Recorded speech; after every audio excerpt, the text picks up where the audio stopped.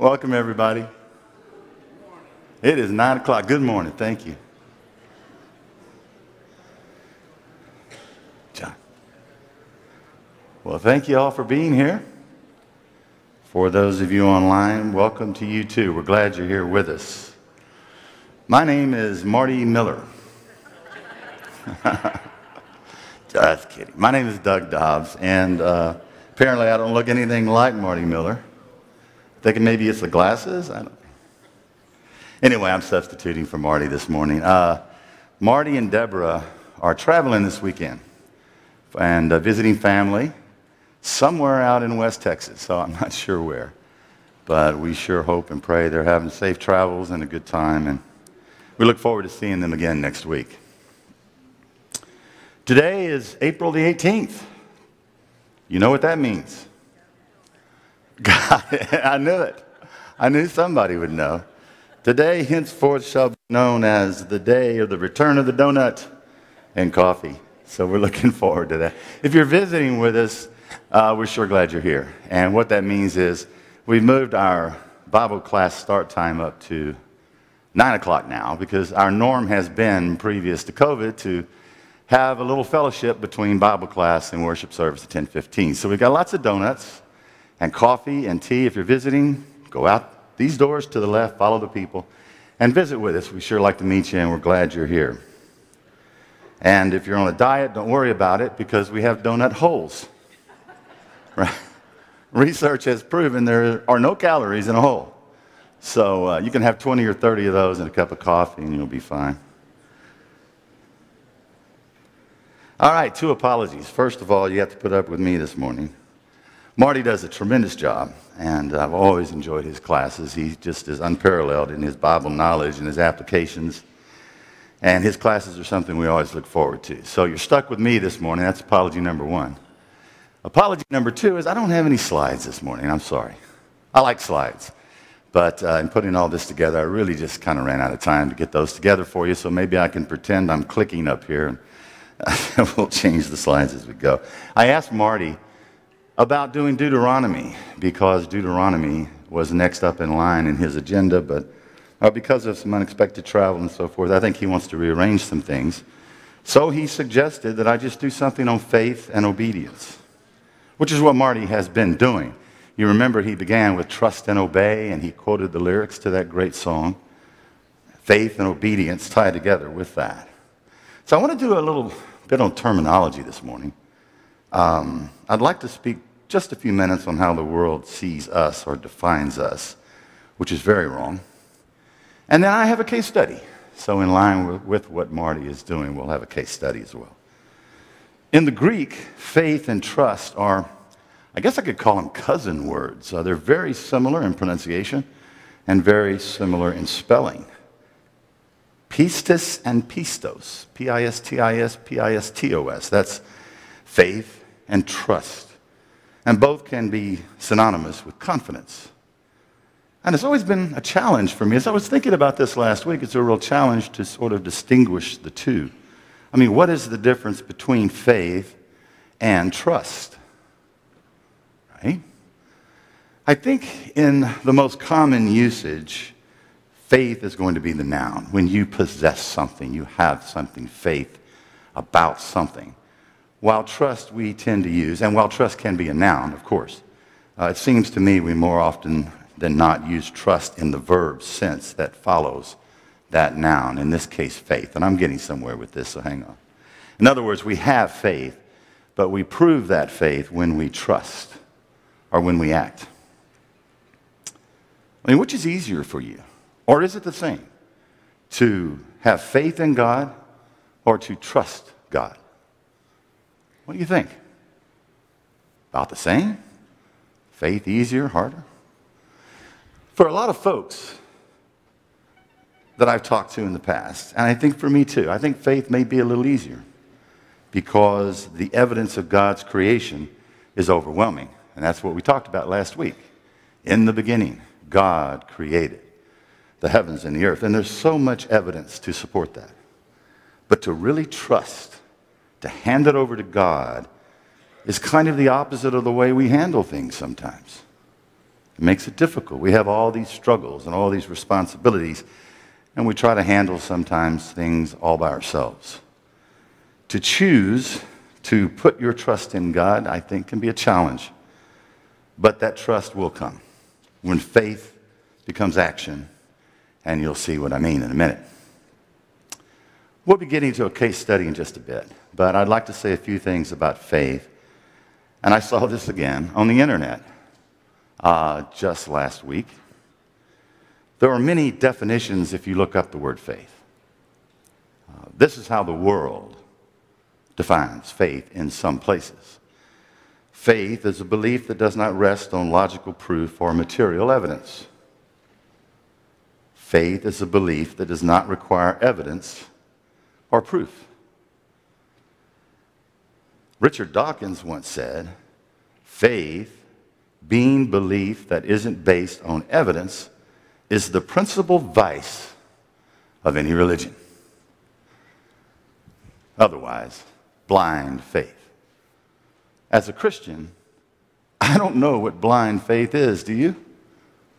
I don't know what blind faith is. I'm going to spend a couple of minutes here out in right field and then we'll come back. But Dr. Dawkins, I would say, doesn't understand that faith that isn't based on evidence would be evolution, macroevolution. That would be the vice of the Darwinist. I know that blind faith exists, faith without evidence, is actually the faith of an atheist. When you specifically and scientifically analyze evolution, and I said scientifically, it has no starting point except for the claim of a single simple cell. Science has proven the universe had a beginning. How about that? It took them 100 years, uh, about 100 years ago, they figured that out. It took them a long time. And what did we know from last week? All along. In the beginning. We had a start. Absolutely. And the claim of a single simple cell is impossible because there is no such thing as a single simple cell. It doesn't exist. Even an amoeba or a bacterium is highly complex. It has life directions in it that are specific to a purpose, and it is directed by a complex machine that chance cannot produce. In other words, cells have a designer. They're specifically designed and they're very complex. Doesn't surprise us, does it? The blind faith of an atheist believes that something comes from nothing. That's against all rational thought. That is not reasonable. The blind faith of an atheist believes in transitional forms of animals that don't exist. They have never been found in the fossil record. You know what? As we read last week, they're never going to be found, are they? Not going to happen. That's because Genesis 1, 2, and 3 that we dealt with last week, or read last week, and Marty was teaching, is fact. It's not fiction. Next time you go through Genesis 1, 2, look for the word kinds. Do you notice last week how many times we talked about kinds specifically created in those kinds? Evolution would have you believe, and the atheist, because those really do to uh, tie together, that they leap between kinds. And again, no evidence, never been found, and we know it never will be. And the irony of all of this is that science is actually proving that. By the way, transitional animals, even if they tried, uh, could not survive the mythical transition. They just wouldn't survive. So, why am I doing all this? Well, it ties in very nicely to last week, our beginning, the creation of the world. And I just wanted to give you a nod here. I haven't been here yet, but there's a group out of Dallas, and it's the Institute for Creation Research. Has anyone heard of the Discovery Center in Dallas yet? Not yet, right? I bet not. No? Anyone been there yet? It opened up just prior to COVID. Uh, and it's in Dallas. I think it's on Royal Lane, so you know it puts it somewhere between Dallas and Arlington, up on that west side. And uh, it's a big center that this ICR group, Institute for Creation Research, has built. And it looks like a lot of fun. But these are scientists. These are PhD types, you bet. But they believe in God. and they believe in Jesus Christ. And so that may be something when you're going up to Dallas. You know, they got the Six Flags, they've got all kinds of things to do in the area, or if you're traveling through to maybe make some time to check it out. Let me know what it looks like. As soon as I can get there, I'll, I'll let you know what it looks like. But the whole idea is that we have a natural museum now, in a way, that's based on truth. So think about it. Uh, there's a planetarium, uh, all kinds of exhibits and workshops for adults and for children as well. And I don't work for them, so but I've seen that, and I, I, I think it's a, something we may want to put on our agendas down the road. But that's what I'm trying to point out about this, though. This group, science basically, and good science is not a bad thing, by the way. It's discovering what God has created, right? Uh, but from this group and other places, archaeology, the fossil research, which is biology, physics, astrophysics, more and more, the earth and the heavens are telling us in the beginning, God created the heavens and the earth. And you know, the Bible is all we need. And I just want to, in case this seems a little off track, uh, the Bible of course, is all we need. The first three evidences we need are the Bible and the Bible and the Bible.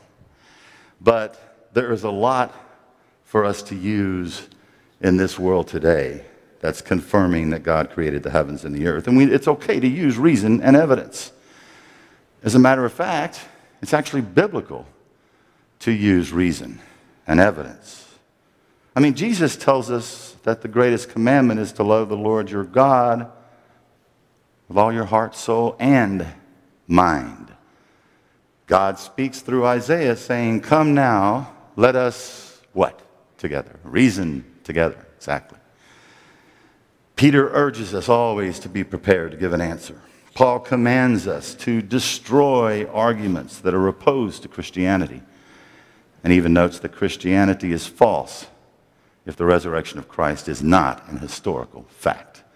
2 Corinthians 15, 14, 1 Corinthians 15, 14, 2 Corinthians 10, 5. Faith in God is a reasonable faith. Now, we all know very well what Hebrews 11.1 tells us. Uh, you can probably quote that as easily as you can. Genesis 1.1, faith is the assurance of things hoped for, a conviction of things not seen. Take a look at those words, perhaps for a second time. What does assurance mean? Assurance is a statement of conviction, a guarantee, freedom from doubt, a certainty. That's assurance. Blessed assurance. Conviction is a fixed or strong belief, a state of being convinced. Now we use those words. God uses these words in Hebrews 11:1. 1 in the ESV and the ASV, the Holy Spirit tells us that faith is the assurance of things hoped for, the conviction of things not seen. In the King James and the New King James, faith is the substance of things hoped for, the evidence of things not seen. The NIV that we use a lot here at Woodland Oaks, uh, it's a good translation, a very good translation. Faith is confidence in what we hope for and assurance about what we do not see. I like how the King James puts that the evidence of things not seen. I mean, after all, what convinces you or convicts you of anything? The evidence. If you put those three verses together, just from those translations, and they're all correct, it's a powerful faith that we have in Christianity. The faith is the assurance, the substance of things, the assurance of things, and a confidence in what we hope for it is a conviction of things, the evidence of things, and assurance, very strong word, about what we do not see. There is no blind faith in Christianity. So, another way of looking at faith can also be expressed or defined, I think, into two kinds, or maybe it's two levels. But we do this all the time in our lives, if you think about it.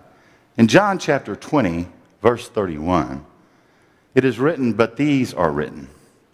And that's referring to signs that Jesus did. So, these signs that Jesus did are written that you may believe that, key on that word, that Jesus is the Christ, the Son of God, and that by believing you may have life in, key on that word, his name.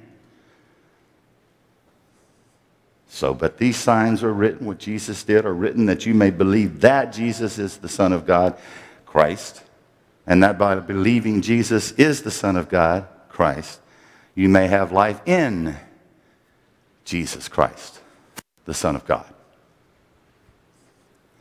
There's a difference in believing that and believing in. Belief that, when you think about it, is more a matter of the mind. Belief in is more a matter of the heart or the will.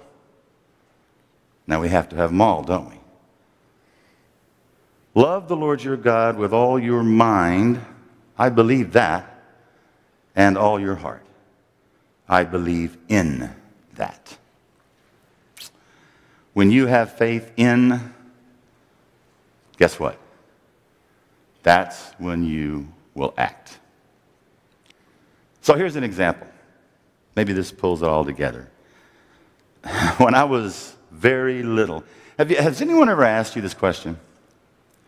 What is your first memory? Yeah? Kind of play a game with it sometimes. What is your first memory? If you really think back, what is your first memory? It's probably it's changing for me the older I get. But what is your first memory?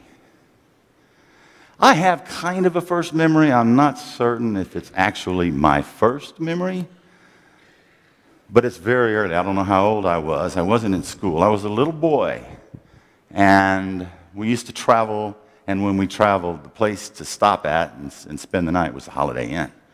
That was the place with the big green sign. And they built kind of a big U shape, two stories. They had a restaurant you could actually order food in. Well, we looked forward to that. Apple pie, la mode. And right in the middle was this huge swimming pool. And of course, whatever, when you were done for the day, the first thing you did is you put those swimming trunks on and you jumped in that water. Well, I couldn't swim, so this is when I'm talking about being kind of a first memory. I just have this snapshot in my head of my dad in the deep end treading water and me looking at him and him telling me to jump in that deep end. And I couldn't swim. And he wanted to teach me not to be afraid of the water he wanted to teach me how to swim. But I just have that snapshot as clear as day of him treading that water and kind of moving over to the side and taking some deep breaths and swimming back to the middle and looking up to me and say, Come on, Doug, jump, jump. And I wouldn't jump. And he kept treading that water and he had this great big smile and I see it as clear as day. I would not jump. I had faith that was my dad. I didn't have faith in that water. I was afraid I'd drown. And he kept telling me, jump, jump, jump. And I did. And I jumped in. Here I am. Everything went well. There was some splashing and a lot of laughing and so forth. Trust me, jump, he would tell me. Come on, jump. That's faith and trust. Of course, I knew him. That was my daddy. But I put my faith in him when I trusted him. It took a while. I had faith. That was my dad. But I also had to have faith in him, or I never would have jumped. So we've known that all along, haven't we? Faith will lead to obedience. Believe that, then in that you will act. Now, you know I'm going to talk about Hebrews 11, one of our favorite chapters. Hebrews 11 7 is all about faith and action.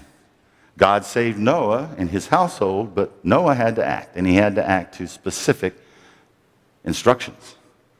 Hebrews 11, 8, 9, 17, faith and action. God made Abraham the father of multitudes, but he had to act in what is definitely one of the most difficult to read stories of faith ever told.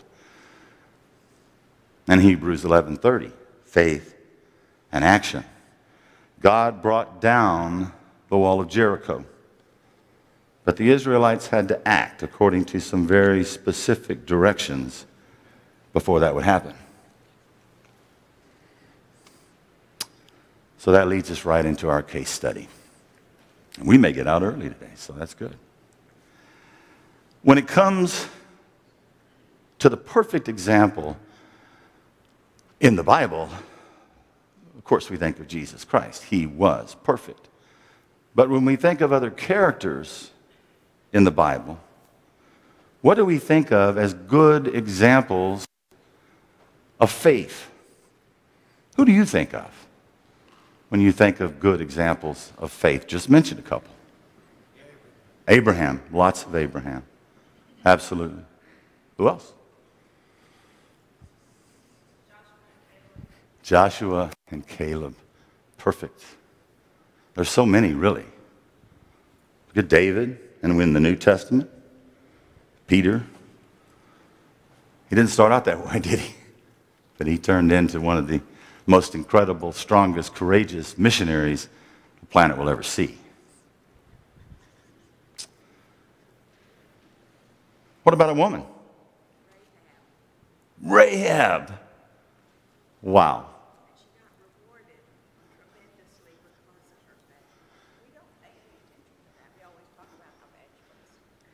Right on.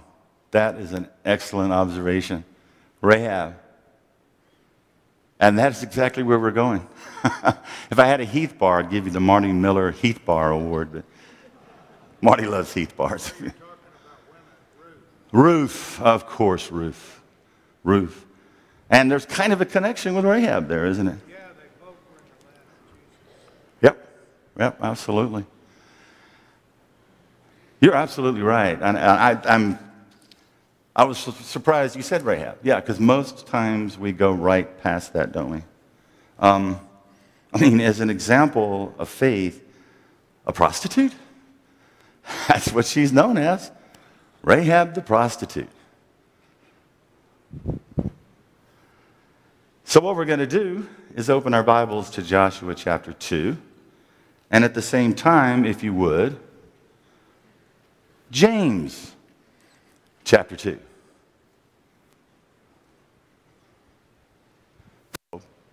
Did I lose it? No, there it is. Okay.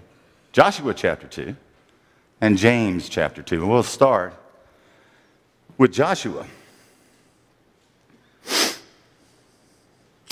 So, in chapter 2, we're seeing that uh, Joshua has decided to send in two spies. The king of Jericho knows they're there. He locates them in the house of Rahab, but she had hidden them, uh, taken them up on the roof. And she sends the, the army of the king of Jericho on a wild goose chase, and they're on their way out. In verse 8, before the spies lay down for the night, she went up on the roof and said to them, I know that the Lord has given you this land, and that a great fear of you has fallen on us, so that all who live in this country are melting in fear because of you. Bingo.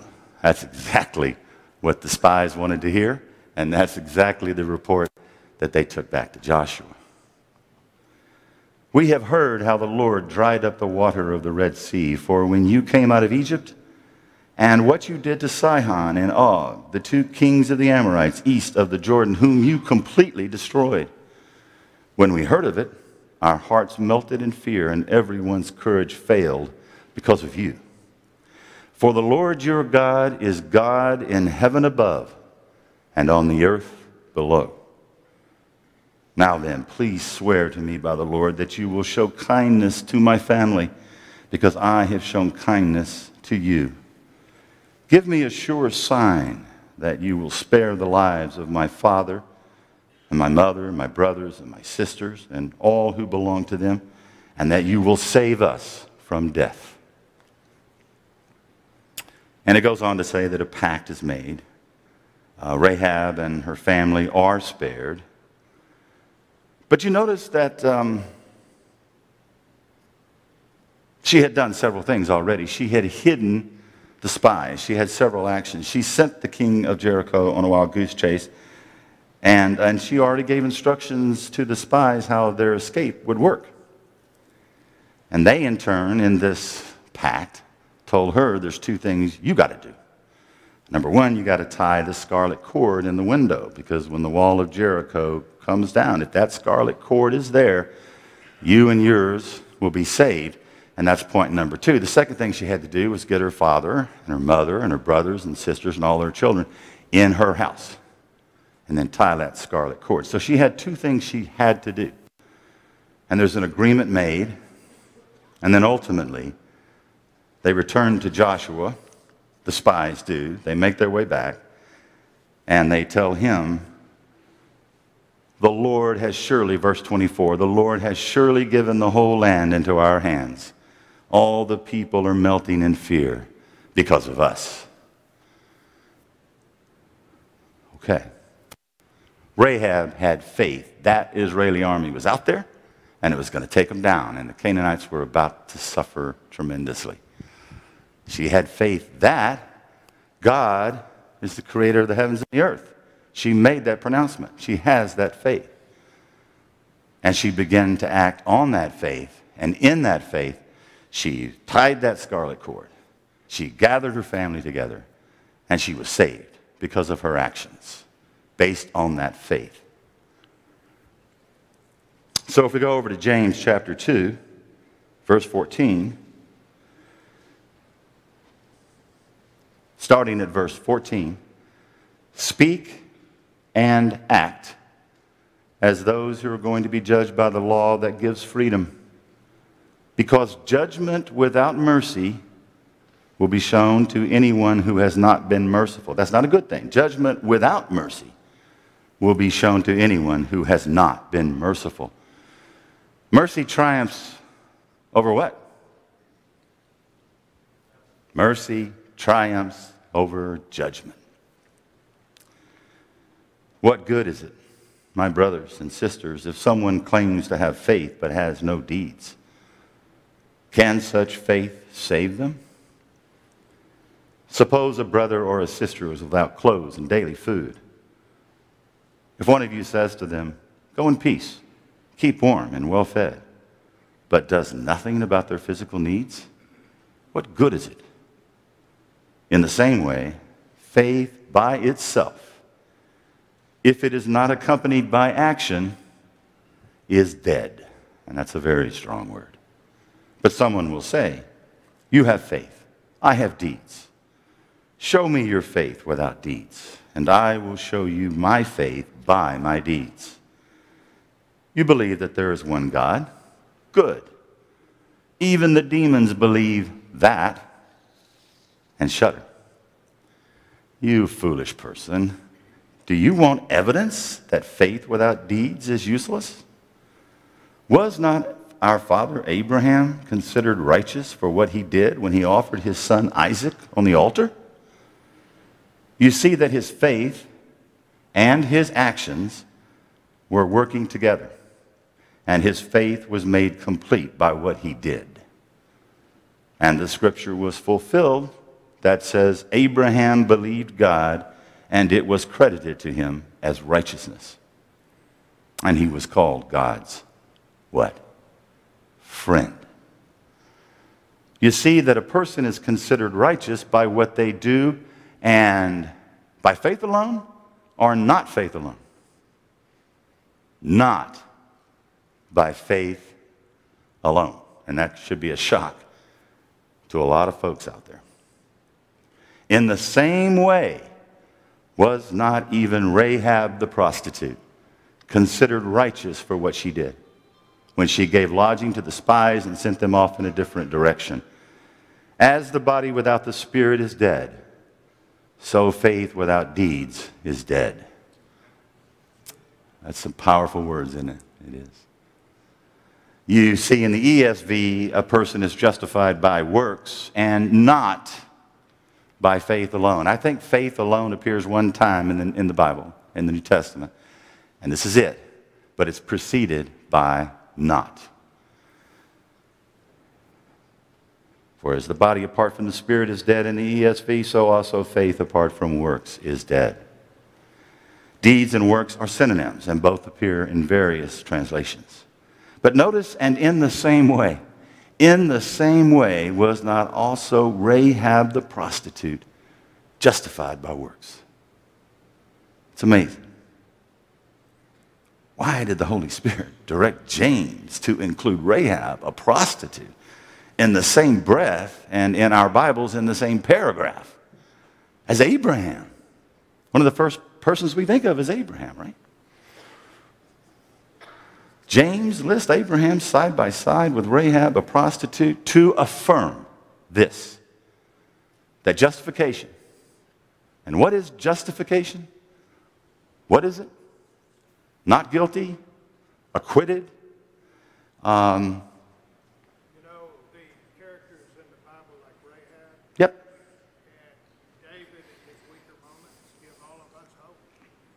that's true. That's a really good comment. Comment is that Rahab the prostitute and, and David when he sinned, Moses killed the Egyptian. When, when we see the failures of man and then we see that, well, David was a man after God's own heart, we see that example. It gives us hope. That's a good comment. Yep. I think it's important to remember that Rahab's works and Abraham's works were done because of their faith. Right? And, I mean, because we can get trapped into the checklist. Oh, well, I've done this, I've done this, I've, I've worked in the soup kitchen, I've done this. You know, and you're not doing it because of your faith, you're doing it to check off your list. Right. Yeah, yeah. That, that we're, we don't follow checklists. There's not like a checklist in an appendix somewhere in the Bible and we have to check that off. That's not what it is. But faith will bring you to action. And she had faith in God, Rahab the prostitute. She, she confessed that and knew. Yeah, very good. Um,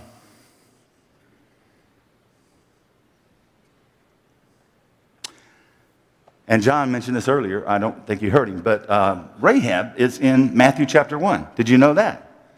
Yep, yeah, we know it. we read that chapter in January every, every year. Um, yeah, she's mentioned in Matthew chapter 1 in the genealogy of Jesus. That gives us hope, doesn't it? To think she could be included there. redemption. And, you know, we get caught up in this, I'm not good enough, I'm not good enough.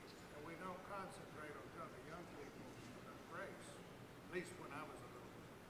Yeah, And, you know, there's a, it's just an incredibly beautiful thing for sinners to be purified and made uh, perfect.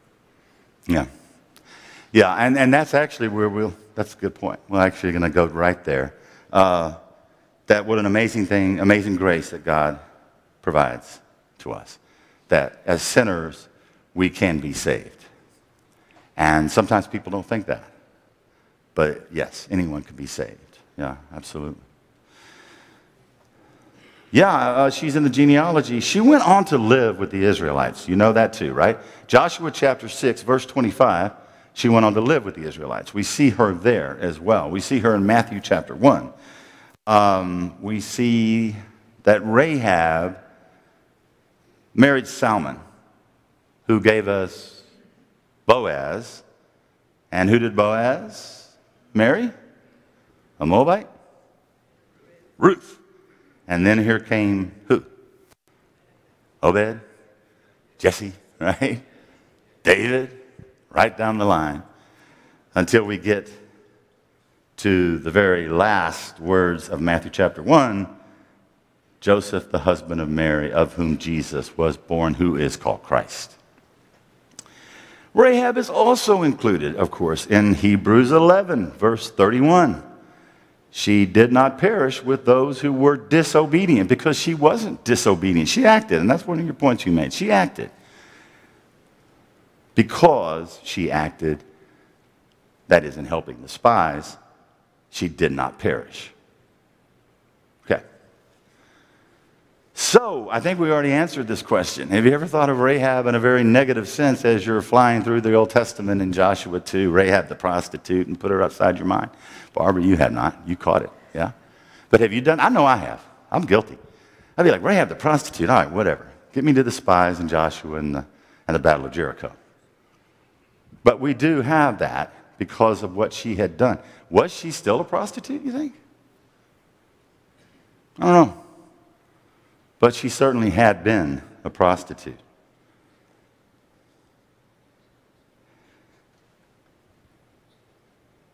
Is our judgment God's judgment? No. Are our ways God's ways or are God's ways our ways? No. They're higher. What did Jesus say? Blessed are the merciful, for they shall receive what? Mercy. Yes.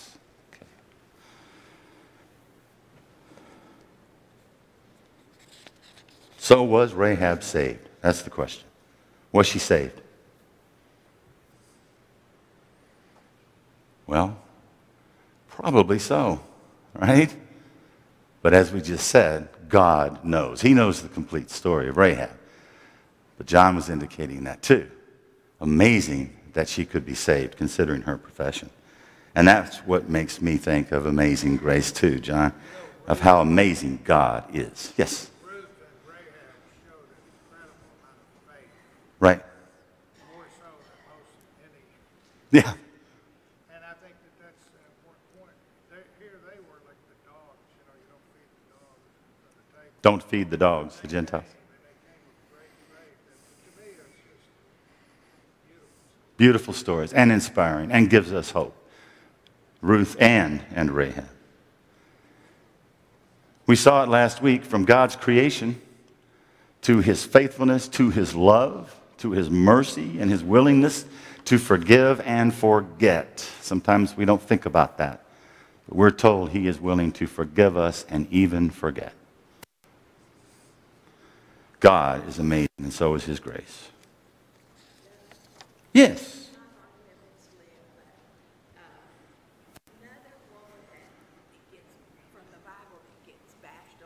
Bathsheba. Bathsheba. Look at Bathsheba like we understand our society, not the society of her day. She didn't willingly, she, she didn't reach out to King David. He reached out to her and she couldn't say, okay, Because he's king. David and Bathsheba, and so, And God blessed her. and God blessed Bathsheba. Yeah. After some punishment for David's, yeah. Yeah, another good example of faith. She didn't have a choice because he was King David. Most importantly, of course, I uh, thank you. I love all your comments, appreciate it. Um, I, of course, think about how Jesus um, has given the opportunity for everyone to be saved.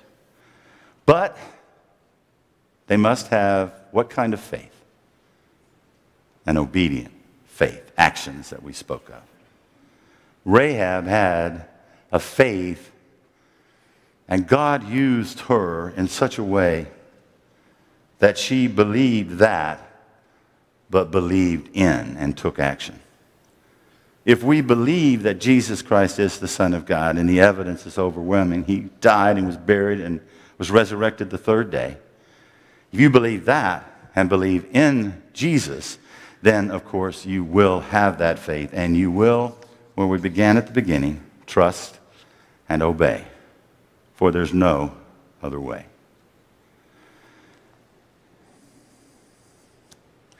Of course, Rahab's story, as I mentioned earlier, is completely known by God. Yeah, I think, I think there's a really good chance she was saved. Uh, tremendous story.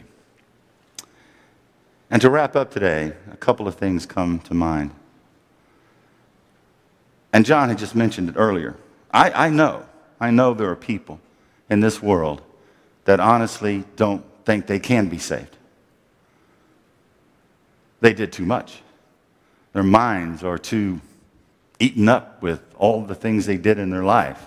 I mean, how many times was Rahab a prostitute? It probably wasn't one time. And there are people that have suffered or done things so wrong that they say to themselves, I give up. I quit. How can I, this kind of a sinner, be saved? If you know someone like that, or if you've ever felt that way, you're wrong. With Jesus, anyone can be saved, no matter what their past was all about, no matter what you've done or how many times you've done it. An obedient faith will lead you to the salvation that's in Jesus. Yes, Tyrone. 1 Timothy 1.15. Here is a trustworthy saying that deserves full acceptance. Christ Jesus came into the world to save sinners, of whom I am. Paul wrote that. 1 Timothy 1:15. Jesus Christ came into the world. That was his that was his function to save sinners. And Paul says of whom I am the worst. Begins, a trustworthy saying. It's only used five times. A trustworthy saying and that the word trustworthy is only This is a trustworthy saying. Jesus Christ came to the world to save sinners, whom I am chief. okay. Used 5 times. Trustworthy saying, just used five times. Trustworthy saying just used 5 times. Thank you. 1 Timothy 1:15.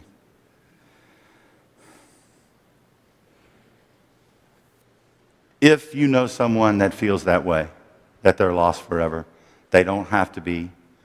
Assure them that you have to start making right decisions and right actions. And, um, and also let them know it's never too late to start making right decisions, to place your faith in that, and to act. And another thing about Rahab that I'm guilty of, I mean, I judged her when I read this all my life. But I do know, judge not, that you be not judged. Now, the world uses that out of context in horrible ways, really, to say everything's okay, and it's not. That's not what it means. But I do know this only God is qualified to know and judge. So we have to be very careful to judge someone's past, don't we? You just may be judging someone who's been forgiven by God, used by God, whose sins have been forgotten. So be careful. Shouldn't be judging people on their past. And please remember this that obedient faith must lead to a change of mind, and that's called repentance.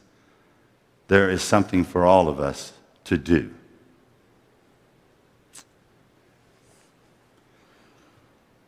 No matter how old you are, no matter what you've done, God can use you and God can save you. If you don't believe that, just possible someday, you may be able to ask Rahab herself. We are a couple of minutes early. Is there any comments? Anybody? Any other comments? Anyone? Great comments from right here all the way out to the left. Thank you all very much for participating. We're really glad you're here. The exciting part now is that the kids are not out yet, and if we hurry, we can beat the kids to the donuts. So that's it. Thank you all very much for being here.